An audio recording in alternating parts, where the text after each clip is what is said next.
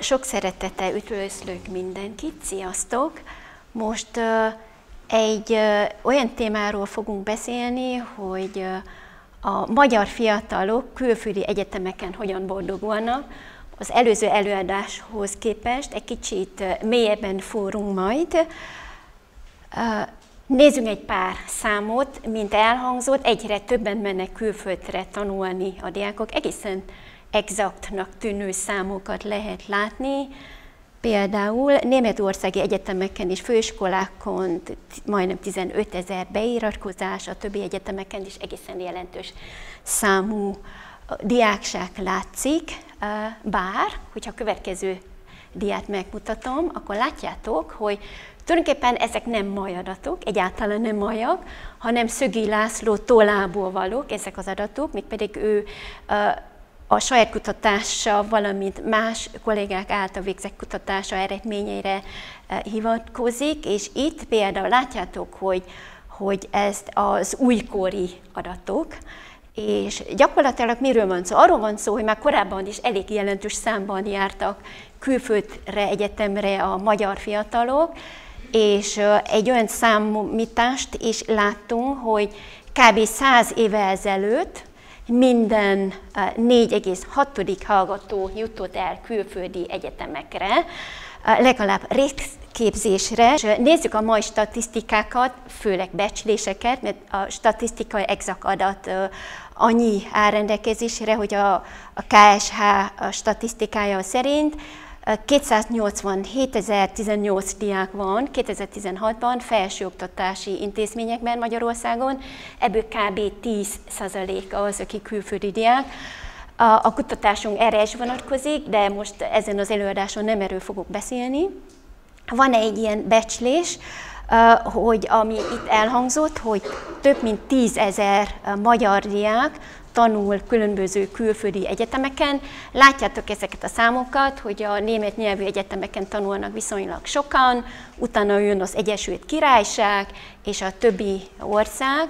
Összesen több mint 10 ezer fő tanul külföldi egyetemeken, ez egész jelentős számnak számít. Hogyha még hozzávesszük az Erasmus képzésben levőket,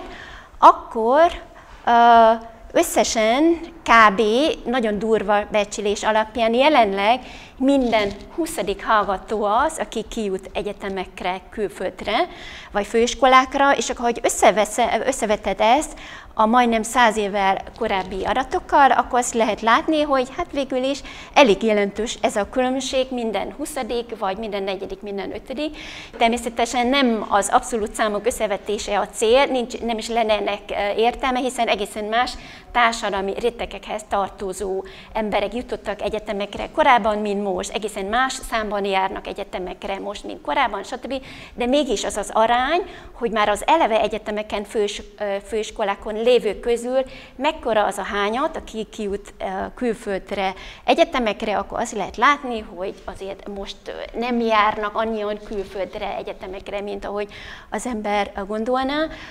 Mint említette Kovács Móni, nálunk folyik egy kutatás. Ebben a kutatásban, ez az Orka által támogatott kutatásban, azzal foglalkozunk, hogy a külföldön tanuló magyar fiataloknak hogyan alakul az adaptációja, hogyan boldogulnak ezeken az egyetemeken, hogyan illeszkednek be, és ezt interjús módszerrel próbáltuk feltárni, körülbelül két órás magyar nyelvű interjúk segítségével, vagy Skype-on, vagy személyesen, amikor hazajöttek mondjuk nyára a fiatalok, vagy szünetekben, összesen 28 fővel készült interjúból készítettem az elemzést. Látjátok, hogy különböző képzési szinteken vannak, részképzésből ugyanúgy vannak, mint teljes képzésből, alapképzésből ugyanúgy, mint mesterképzésből, doktori képzésből és egyéb képzésekből. Vannak ösztöndiasok, vannak részben ösztöndiasok, és vannak önköltségesek. Nézzük egy kicsit közelebbről, hogy honnan is vannak ezek a, a fiatalok, akik jelentkeztek. Az Egyesült Államokból voltak, Angliából voltak, Kínából is volt vizsgálati személyünk, Dániából, Hollandiából, Németországból is volt egy fő. Finnországból, minden olyan országból voltak vizsgálati személyünk, ahova a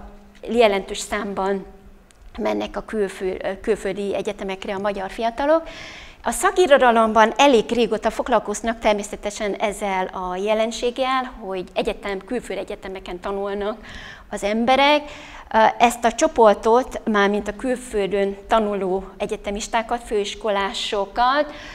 úgy hívják, hogy sojourner, azaz ideglenesen tartózkodók, és ők ugyanúgy ideglenesen tartózkodók, mint ahogy például munkavállalók, a vállalati kiküldöttek, nemzetközi szervezeteknek az emberei, meghatározott időszakon belül legalábbis úgy tervezik, hogy kimennek külföldre egy meghatározott célért, és körülbelül tudják, hogy mikor térnek vissza. Természetesen a, az, hogy ténylegesen visszatérnek vagy sem, az még alakul.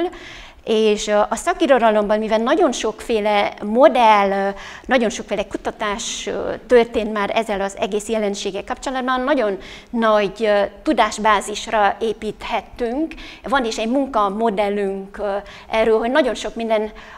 befolyásolja azt, hogy hogyan adaptálódnak ezek a fiatalok, mondjuk először nézem a kimeneti oldalt, hogy hogyan érzik magukat, ez a pszichológiai adaptáció, hogyan boldogulnak a mindennapi életben, valamint az mennyire, hogyan sikerül nekik az iskolai élet, az egyetemi élet, és a közvetítő tényezőkhöz tartozik az, és tulajdonképpen erre fogunk majd koncentrálni, hogy hogyan e, élik meg ők ezt az egész folyamatot, milyen stratégiákat alkalmaznak, például azt, hogy mennyire tartják meg a magyar dolgokat, mennyire vesznek föl új dolgokat, és az új dolgok e, alatt kétfélét legalább lehet érteni, azt, hogy a helyi e, társadalomnak a szokásait, valamint a nemzetközi közösségnek a dolgait mennyire veszik föl, és a bemeneti oldalnak számtalan olyan tényezője van, amivel majd fogunk foglalkozni. Kiderült, hogy főleg két dologgal foglalkozunk. A kognitív kiértékelés alatt azt értjük, hogy mi kifejezetten a kint tanuló diákoknak a szemszögéből szeretnénk rá tekinteni a helyzetre, hogy ők hogyan élik meg, hogyan értékelik ezeket a, a, a folyamatokat, és egy másik dolog, amire kitérek majd ebben az előadásban azt, hogy hogyan küzdenek meg ezzel az egész folyamattal, milyen erőforrások állnak rendelkezésre. És a külföldi egyetem járásnak az értékelésével kapcsolatban először azt szeretném felvetni, hogy tulajdonképpen mi az értékelésnek az egész referencia rendszere, hát értékelünk, de mihez képest, kihez képest, és szerintem nem meglepő, hogy természetesen nagyon többszörös ez a referencia keret, és először is a korábbi magyarországi egyetemi tapasztalatokhoz tudják hasonlítani, mert számosan emlékeztek rá, hogy mesterképzésben vagy doktori képzésben vannak, azaz már bőven van neki korábbi magyarországi felsőoktatási tapasztalatuk, vagy akár lehet korábban voltak mondjuk Erasmusban, és korábbi tanulmányi tanulmányokhoz, tanulmányi tapasztalataikhoz is tudják ezt összevetni, és azért kihez hasonlítják mindezeket a társas összehasonlító elméletből azt tudjuk, hogy az ember általában azokhoz hasonlítja magát, akik valamilyen értelemben közel áll hozzá, és itt is többszörös referencia keretről beszélhetünk, barátok, felsőévesek az adott gimnáziumból, az adott egyetemről, évfolyamtársak, és honnan vannak ezek az emberek, lehet Magyarországon maradt társakhoz viszonyítani lehet, más országokban tanuló, például ugyanabból a gimnáziumból vagyunk, de én Angliában vagyok, te meg Németországban vagy, és akkor összevetjük ezeket a tapasztalatokat. Lehet kinti diákok, például angol diákoknak a helyzetéhez is történik az összehasonlítás, valamint természetesen a kinti nemzetközi diákok, akik szintén nemzetközi diákok, mint én, csak más országból származnak, minimum egy ilyen négyes, ötös keret, és természetesen a programoknak, a tanároknak az értékelése és egy többszörös referencia keretben történik, és nem csak, hogy többszörös ez a referencia keret, aminek a segítségével értékelik ezeket a tapasztalatokat, hanem látni fogjátok, tulajdonképpen egy ilyen változó és egyre táguló referencia többes rendszerről van szó, nem beszélve arról, hogy természetesen nagyon sokat számít, hogy ki honnan indul, milyen a családi háttér, milyennek a korábbi tanulmányok, mennyire kiváltságos, vagy mennyire küzdelmes és nehéz az a helyzet, ahonnan ők elindultak, mert a, kikről Rita itt beszélt, ők elsősorban viszonylag jó helyzetben lévő családoknak a gyermekeit érintik igazából, de vannak ezen kívül még más olyan fiatalok, szerencsére ők is tanulnak kint külföldön, de egészen más az a tapasztalati bázis, vagy legalábbis vannak elég jelentős különbségek, és ami még nagyon fontos, hogy, hogy nagyon jellemző egyfajta tudatosság abban, ahogy, ahogy ők élik ezt az egészet, majd különböző témáknál erre majd kitérünk, hogy miket értékelnek,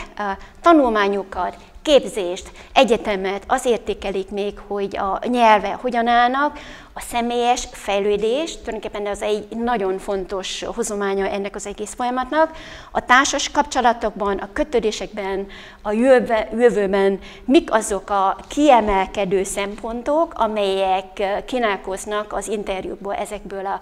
a, a beszélgetésekből, és kiemeltünk ide egy idézetet, Szembe kell nézni a bevándorló léttel, tehát, hogy azért akkor a társadalomnak eléggé az alján találod magad,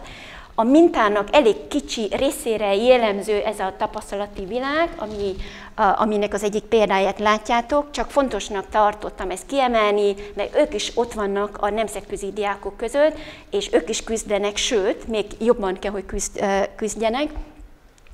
És a, a táguló keretek referenciák kapcsán azt lehet mondani, hogy a diákok, akik kint tanulnak, ők igazából a számukra az egész bizonyos értelemben az egész világ a referencia keret, mert nagyon gyakran hangzik el olyasmi, hogy hát mindenképpen top 10-es egyetemet akartam bejelölni, vagy a világranglistákon, vagy az élboly, sőt nem csak az egyetemeket nézték, hanem a szakokat, külön meg nézték a különböző ranking listákat, és hogy az egyetem nem a legelőkelőbb helyen van, de az a szak, ahova én szeretnék kimenni, stb. És ami még nagyon fontos tapasztalat ebből az egészből, hogy nem csak olyan értelemben táguló keret és referencia, hogy, hogy egyszer csak kitágulnak a lehetőségek, hanem megváltozik annak az észlelése, hogy mi az, ami elérhető nekem, és ami lehetséges nekem. Figyeltek azt a, az idézetet. Szóval nekem ez eddig így nem volt meg, hogy csak fel kell ülni egy vonatra, és menni kell, és oda megyek, ahova akarok, és azt csinálom, amit akarok, vagy következő idézetben azt említette a megkérdezett fiatal, hogy hát igazából megtanultam azt, hogy nem csak Magyarországban gondolkodunk, és Angliában, hanem itt van egész Európa, vagy akár itt az egész világ. Tulajdonképpen itt meg meg én csak tényleg szeretnék arra kitérni, hogy nem csak arról van szó, hogy, hogy egyszerre csak több lehetőség van, hanem, hanem észreveszik, hogy itt van több lehetőség, és benne van az egészben egy olyan is, hogy kicsi ország, kicsi nyelv, és mivel nagyon fontos, hogy tulajdonképpen így, ha már kitárul az egész világ, valahogy hogy van ez az interakció, és megvan uh, annak a tudatossága, hogy hát a mi nyelvünket senki más nem beszéli, hát van egy pár kivétel, uh, és ahhoz, hogy megértsük a világot, valahogy így ki kell nyílni, ki kell lépni a dobozból, és azt, hogy ebben a táguló, összehasonlító keretben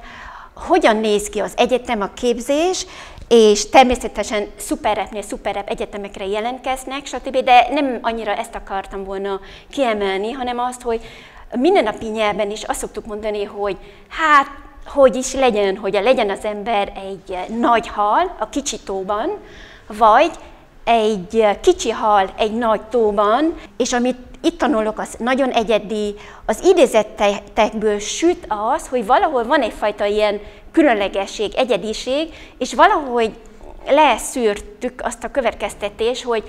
ezek a fiatalok nagyon-nagyon tisztában vannak azzal, hogy tulajdonképpen itt van az egész világ, az egész világgal kell versenyezni, és el is hangzott olyan, hogy sokkal nehezebb a legjobbnak lenni, stb. stb. És úgy látszik, hogy nem kicsi hal vagy nagy hal akarnak lenni a nagy tóban, hanem különleges hal. És ez az, amire hajtanak, és látják, hogy ennek van értéke, és van esélye, és ami még nagyon fontos, hogy, hogy nagyon kiemelik ezeknek a képzéseknek a gyakorlatiasságát, és azokat az értékeit, hogy például projektekben lehet dolgozni, és nagyon életszerű az a tudás, amit, amit szereznek, és nagyon fontos, hogy nem csak a tudást emelik ki, hanem a szemléletet, amit lehet szerezni a kinti egyetemeken, és ami még nagyon fontos, hogy, hogy nagyon, bizonyos értelemben nagyon tudatos fogyasztók nagyon tudják, hogy mi az, ami kellene nekik. Például az egyik fiatal, az egyik, nem tudom, világ első tíz évben lévő egyetem mint tanul, és kifogásolja azt, hogy egy kísérleti képzésben van, és nagyon klassz az, hogy mennyire gyakorlati és mennyire nemzetközi versenyeken nyerő csapatban van, de az a baj, hogy az elméleti képzés mintha nem lenne eléggé kihangsúlyozva, és akkor ő ezen nincsen uh, uh, megelégedve, vagy nagyon tisztában vannak azzal, hogy mi az értékük, szóval nem arról van szó, hogy kimegyek egy világ első egyetemére, és akkor meg vagyok szeppenve, hogy itt minden fantasztikus, és csak ahogy szedjem össze magam, hanem egyszerűen ő tudja, hogy az egyetem azért értékes, mert sikerült az egyetemnek olyan diákokat összeszednie, mint amilyen ő. Hát tulajdonképpen ők azok, akik értékesé teszik az egyetemet, és amit még kiemelnek az, hogy nagyon-nagyon kedvező az a környezet, az egész társadalmi környezet, az emberek boldogok, lazábbak, nyugodtabbak, nem idegesek, és a tanulási környezet is nagyon kedvező, mindenki úgy látszik, hogy a társak is motiváltak, és ez a környezet nagyon, nagyon kedvező hatással van rájuk, és a karrier és a szakmai fejlődés szempontjából hogyan értékelik ezt? Az a szó, hogy ukrodeszka, stepping stone, mert időnként átváltanak nem tudom, aranynyelvre, a, a, mint tanulnak. Ez eléggé gyakran elhangzott, és nagyon tudatosan felismerik azokat a lehetőségeket, például az, hogy a témavezető visszavárja, majd egy posztdokra vagy állásra, és ami még nagyon fontos, hogy itt ők nem elsősorban a végterméket, végeredmény hangsúlyozzák ki, mint értéket, hanem az egész folyamatot, például valaki azt mondja, hogy, hogy folyamatosan változni fog a szemléletem, ami nagyon szükséges, és ami, ami nagyon fontos, hogy a karrier és a szakmai fejlődés szempontjából fontosnak tartják azt, hogy az önéletrajz kitűnik a tömegből, és nem akar érdemtelenül csak a hírnévre támaszkodni, hanem az, hogy, hogy legalább behívják, mert érdekesnek látszik az ő önéletrajza, és akkor van lehetősége bebizonyítani, hogy tényleg ő megérdemli azt az állást például, és tudatában vannak annak is, hogy a sok nehézség, mert nagyon küzdelmes az egész, tulajdonképpen lesz eredménye, mert a munkahely talán figyelembe veszi azt is, hogy, hogy például ahhoz, hogy ő elérje ugyanazt a diplomát, mint egy másik fiatal, aki történetesen helyi holland, neki biztos, hogy többet kellett befektetni, úgyhogy még jobban értékelik, és akkor ez, ennek még nagyobb értéke van, és még jobban megéri ez az egész. Úgyhogy a szakmai fejlődés szempontjából abszolút megéri ez az egész. A nyelv ismerete és az odatartozás az egy nagyon fontos dolog, hogyha megszámolnánk azt, hogy mely szó az, ami a leggyakrabban elhangzik a 28 interjúban, akkor a nyelv az, ami mindenképpen az. És itt tulajdonképpen hát természetesen magától értetődő az, hogy az ember erre csak hogy ráragadt a nyelv, és akkor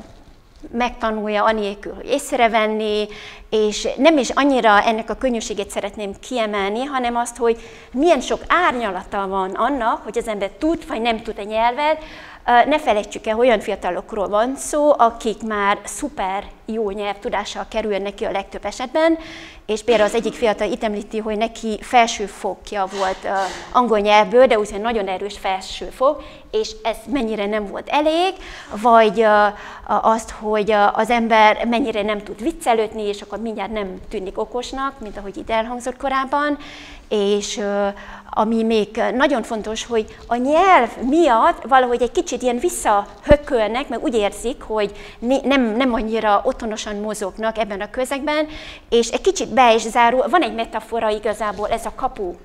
az, hogy ha jó a nyelvtudásod, és értelmesen, az az érdemben, érdemi nyelvtudásról van szó, tudsz érintkezésbe lépni a többiekkel, akkor kitárul neked a kapu, de hogyha nem elég jó a nyelvtudásod, akkor lezárul. Szóval elég ijesztőnek is hangzik ez, legalábbis a mindennapi életben ez megélik, de szerintem sokunkra igaz ez az élmény talán, és a nemzetközi környezet és az interkulturális készségek természetesen az a terület, ahol nagyon sokat lehet nyerni, egyáltalán nem ritka az a tapasztalat, hogy ahány társa van, az annyi országból való, és különböző mértékekben, de ezt nagyon élvezik, és, és különböző mértékekben ezt ki is tudják aknázni kölcsönösen, és nagyon sokan úgy gondolják, hogy ez az egész tanulási folyamatnak az egyik nagy nyereménye, e, és nem csak az, hogy tapasztalat, meg érdekes, meg sokféle ember, hanem egyszerűen ki is térnek a kommunikációs készségekre, meg az, hogy mit jelent különböző kulturális hátterekkel rendelkező emberekkel együtt dolgozni, és van, aki kiemelte az, hogy ő a projekt munkában valahogy magához ragadta a vezető szerepet, és mennyivel küzdelmesebb az, hogy olyanokat vezetni, akik máshonnan vannak a legkülönbözőbb helyekről származnak, származnak, és ebben is szerez tapasztalatot, és ez, ezek a tapasztalatok mind később beválthatóak, mondjuk ebben is nagyon tudatosak a, a fiatalok, és szerintem a pszichológusok számára talán a személyes fejlődés az egyik izgalmasabb, az egyik legizgalmasabb terület, önismeretben, önfejlesztésben, én hatékonyságban, és nem utolsó, nem utolsó sorban a társadalmi tudatosságban is van fejlődés. Ami nagyon fontos, hogy, hogy úgy érzik, hogy, hogy meg tudják tenni azt, amit szeretnének, és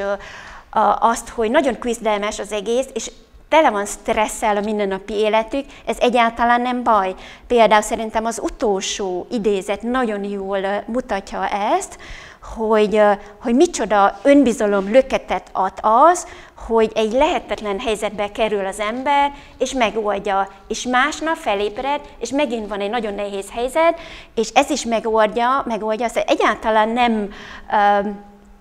vetti őt vissza, hanem sőt, ez az, ami, az a tapasztalat, hogy megcsináltam, és legközelebb, ha egy ilyen hasonló helyzetbe kerül, akkor ez nagyon uh, nagy motiváló hatása lehet rá, de az, hogy összeszedettebbek lesznek a gyerekek, a fiatalok, meg önállóbbak, stb. Ez az, ami, az, az, ami nem csodálkozik az ember, de ezt nagyon nagy értéknek uh, uh, gondolják és ami még nagyon fontos, ez a társas kapcsolatok, egyrészt természetesen a kapcsolatúi háló, másrészt viszont ugyanakkor ennek ára van, mert az ember itt hagy mindenkit, vagy van olyan, aki gyakran vált tanulási helyet is, és például azt mondja, hogy sem a családi, sem a romantikus, sem a baráti kapcsolatokra nincs ez jó hatással, és még a szerelem az egy fontos kérdés természetesen, Igazából ennek is komplex hatása van a kinti tartózkodásra. Az egyik legpraktikusabb dolog, amit többen említenek, hogyha van itthon neki szerelme, vagy egy másik országban, akkor mondjuk péntek este nem megy el a haverokhoz bulizni, hanem hát csettel, beszél, stb. A, az otthon maradt szerelemmel, és ez bizonyos értelemben, azt tudjuk, hogy nem egy zéró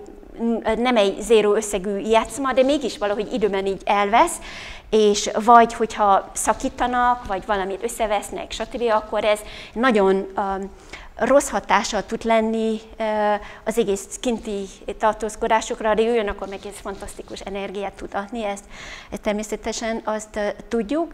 És a jövő azt gondolják, hogy Hát valamit valamiért, e, annak nagyon nagy ára van, hogy, hogy kint vannak, anyagi, érzelmi, stb. értelemben, és és nagyon sok energiát kell belefektetni abba, hogy, hogy sikeresek legyenek kint, mert nagyon magas követelmények vannak, stb., de ugyanakkor mindenki úgy csinálja a számadást, hogy mindenképpen megéri, és mindenki javasolna a többieknek, hogy mindenképpen érdemes bele fogni, csak tudni kell, hogy ez azért sokba kerül. Szóval nem csak pénzben, a legkisebb mértékben igazából kerül elő a pénz. És ami még nagyon fontos az, hogy mindenki arról beszél, hogy például az adott iskola mondja, hogy hát elveszett a nemzet számára, vagy sem. Hát nem biztos, mert mindnyájan azon gondolkodnak, hogy tulajdonképpen hát szeretnének visszajönni, és a legkülönbözőbb formákban ezt kifejezésre is juttatják. Magyarországhoz való viszonyuk olyan, hogy igazából nagyon nem is találkoztunk olyannal, aki azt mondta volna, hogy, hogy kevéssé érzi úgy, hogy, hogy ő magyar, hanem sőt, még erősödik is a magyar identitása, azzal együtt, hogy nemzetközipnek is érzi magát és európainak, és kiemelkedik egy olyan dimenzió, hogy kelet-európainak lenni, az egy nagyon domináns tapasztalat az, e, az egészben, és ami nagyon fontos, hogy, hogy hogy a, a magyar nyelvnek a szépségét, és egy páran kiemelik, hogy most érzik, hogy, hogy milyen szép az a nyelv, és a, az identitásban benne van még azt, hogy tisztában vannak azzal, hogy vannak, akik úgy érzik, hogy elvesztek ők az, a nemzet számára, és ők viszont úgy érzik, hogy egyáltalán nem, ők szeretnének visszajönni, és szeretnének hozzájárulni minden értelemben. Szeretnék egy idézettel zárni, ami úgy hangzik, hogy a világ és kinyílt nekem, meg én is a világnak. Uh, így néz ki a teljes idézet, és uh, én nem tudom, hogy biztos rájöttetek, hogy honnan volt az előadásnak a címe, igaz? Uh-huh, meg is mutatom. Mároly Sándor. De hogy mennyire nem kizárólagosan magyar érzés ez, mindjárt mutatok egy olyat, egy vietnámi verset, és benne van a szív, és tehát idegenbe szakadt vándor, stb. és a nyelvhez való viszonyulás. És akkor megint az az érzet, ami nagyon hasonlít arra, amit Márai Sándor megfogalmazott a versében, hogy benne van egyfajta ilyen, jaj, mintha elveszne valami, vagy stb. Tulajdonképpen nagyon-nagyon általános lehet ez az érzés, de szerintem, a, hogyha belegondolunk abba, hogy a megkérdezett fiatalok miket fogalmaztak meg, egyáltalán nem vesztek el, sőt, hanem majd meggazdagodva visszajönnének, hogyha megtehetik, mi legalábbis úgy érzik. Köszönöm szépen!